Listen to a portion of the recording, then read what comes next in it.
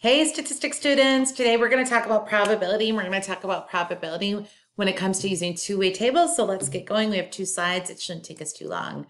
Uh, the FIAD teachers at Glen High School want to evaluate how many students need extra swimming lessons before their swimming unit. We have a two-way table here.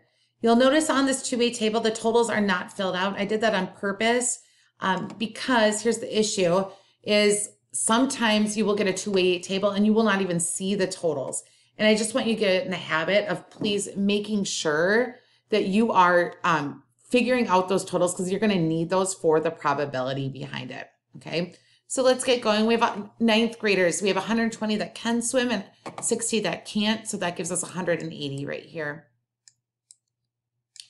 10th grade, we have 160 that can swim, 30 that cannot. That's 190. Here we have 170 that can swim, 20 that can't. Again, we have 190. 12th graders, we have 150 that can swim, okay? And 50 that can't swim. That's gonna give us 200. What I'm gonna do right now to ensure that we don't make any mistakes is I'm gonna type in this to add it all up. So I have 180 plus 190 plus 190 plus 200. And that gives us a total of 760 high school students who are taking FIAD. Now what we want to do is we want to add up all of the kids who can't swim and all of the kids who can swim. So if I add up 50 plus 20 plus 30, that gives me 100. And then that gives me 160, right? Because 30 plus 20 is 50, 50 plus 50 is 100, 100 plus 60 is 160. Now I could add this all up, but what's really nice is I know I have a total of 760 and I have 160 that can't swim, which means if I add all this up here, I should get 600 who can swim. And you could add that up if you want, but 600 plus 160 gives me 760. Now we're ready to answer a couple, answer a couple probability questions based off reading our two-way table. If a FIAD teacher randomly selects a student at the high school, we should put who is assuming they are taking FIAD. What is the probability it is a ninth grader? Okay, again, we're going to have to make an assumption here that should have been written in here, assuming they are a FIAD student. So imagine we have 760 FIAD students, names in a hat, right?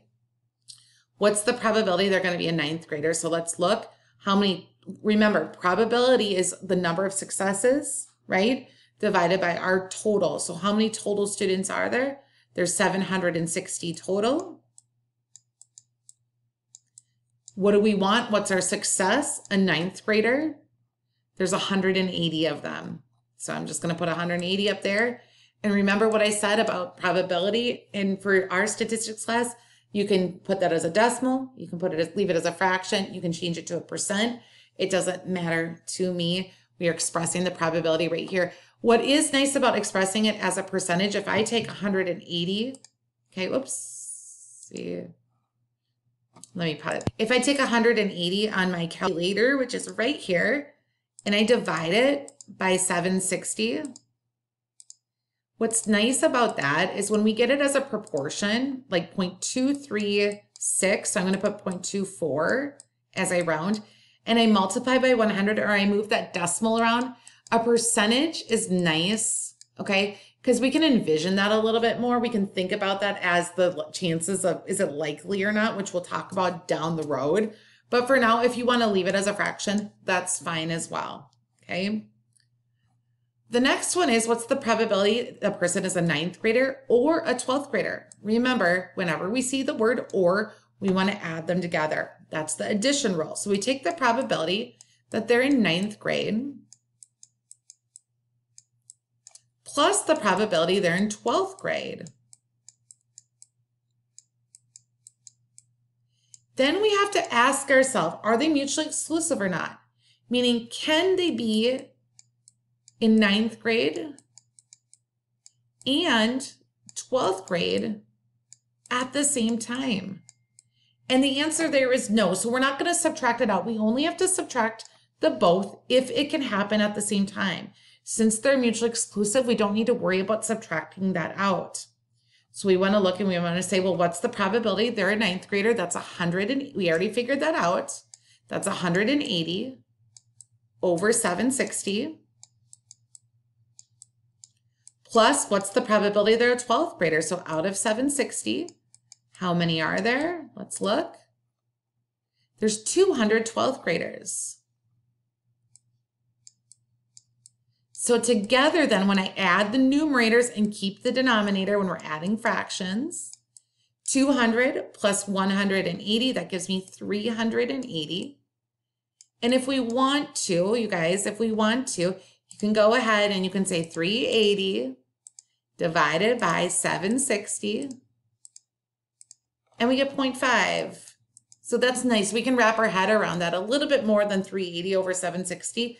But again, it doesn't matter to us, or to me, excuse me. 50% though is your final probability. I would take any of these three answers.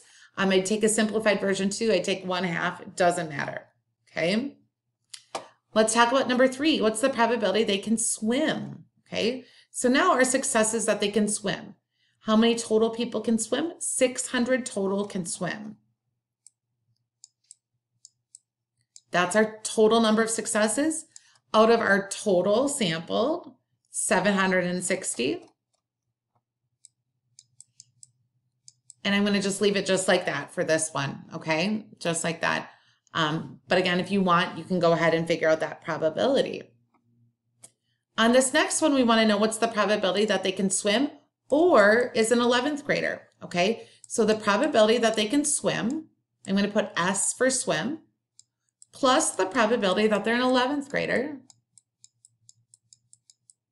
Now we have to ask ourselves, can we be a swimmer and be in 11th grade?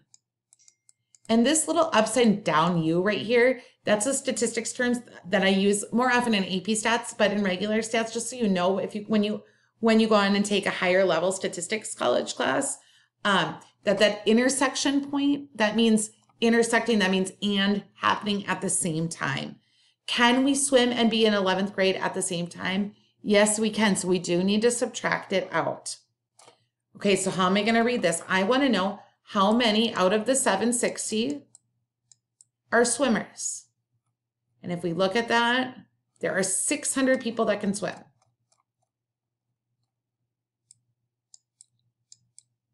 Then out of the 760, how many are 11th graders? Okay.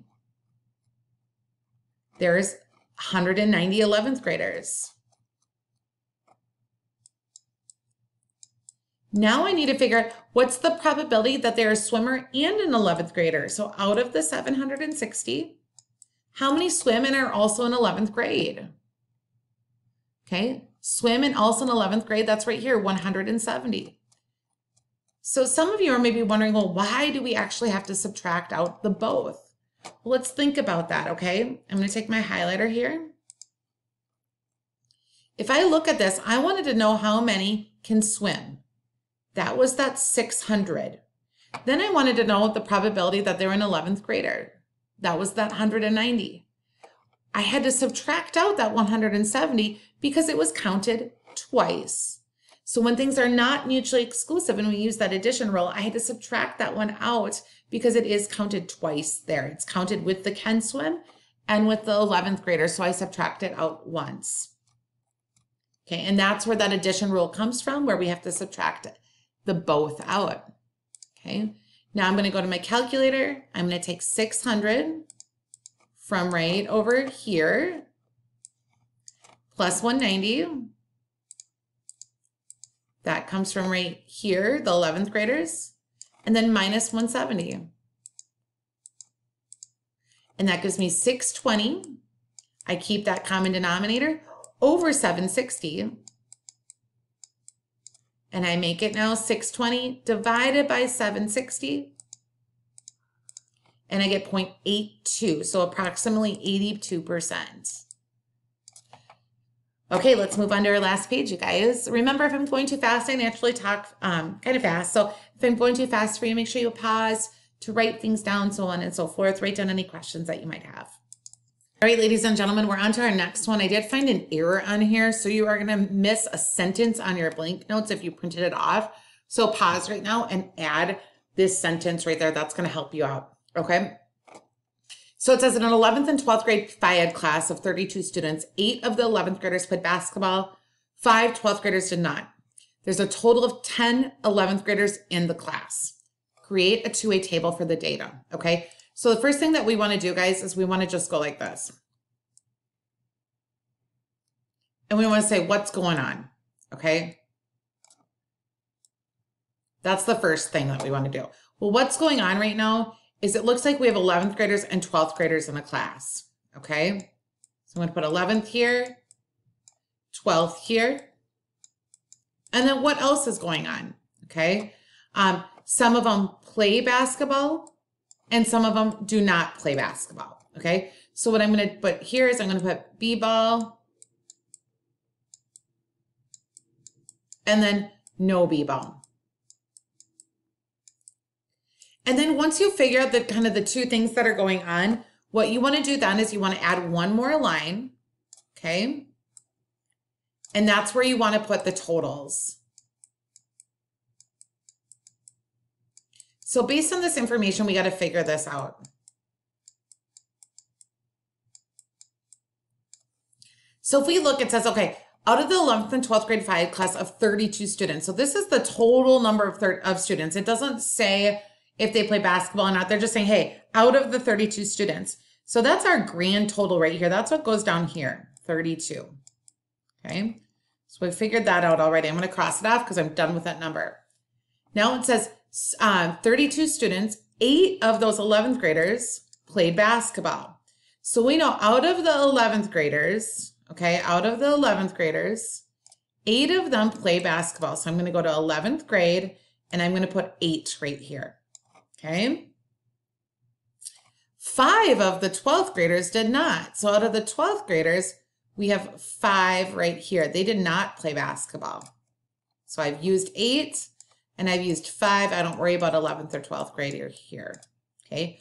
What else do we know? We know that there's a total of 10 11th graders in the class. Okay, so if there's a a total of 11th of I'm sorry, of 10 11th graders in the class, on the 11th grader roll, I'm going to put 10 here. And now we're just going to use some algebra to fill some things out, okay? So what do we know, ladies and gentlemen? Well, if we know that, okay, so 8 plus what gives me 10? So I could just do 10 minus 8, which is 2, okay? Now to fill that out, I know how many people do not play basketball. 2 plus 7, well, that's 17, right? What am I thinking? 2 plus 7. I was looking at this 10 because I'm thinking about the next thing that happens to me sometimes. My mind's always on the next thing to do. That's 7. Well, now what I need to do is you have this 10 here. I need to figure out the total number of 12th graders, the total number of basketball players, and the total number of 12th graders who play basketball. So what I know right now is I know that I have a total of 32 students. Okay. And I know that I have 10, right? 10 total 11th graders. So what I can do is I can take 32 minus 10, and that's going to give me 22. I have 22 12th graders. Okay. 22 12th graders. So now I need to take 22 minus 5, right, to figure out how many play basketball. So 22 minus 5, what is that going to be? That's going to be 17. Okay, so what am I doing right now, guys? I'm just doing some subtraction, some logic to fill things in, okay? Lastly, I want to figure out how many total play basketball. 17 and 8 together, well, that makes 25. Okay, 25 plus 7 also gives me 32. I'm good to go. I've created my two-way table. So just a quick sum up what we did. We drew our lines. We filled in what we wanted here. And then we filled in our totals over here. We filled in what we knew inside and we had to use a little bit of logic, a little bit of algebra to figure out the rest. Now let's go ahead and let's figure out the probability here. If you randomly select a student, what's the probability that you select an 11th grader or a basketball player? So that's the probability of an 11th grader plus the probability of a basketball player minus the probability of both an 11th grader and someone who plays basketball.